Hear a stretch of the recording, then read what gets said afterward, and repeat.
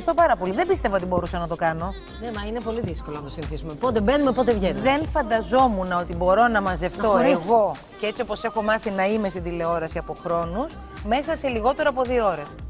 Είναι για μένα άθλος αυτό. Μήπως αρχίσει πάλι και ανοίγεσαι, εγώ το βλέπω. Όχι, τρελώσαι. Όχι. Όχι. Καλά είμαστε. Λοιπόν, ωραία είμαστε. Μια χαρά είμαστε. Και ωραίο είναι και το πρόγραμμά μας που ακολουθεί. Α, το σόι μας σε επανάληψη και αμέσως μετά η Ελένη Τσολάκη με το Σλαμ.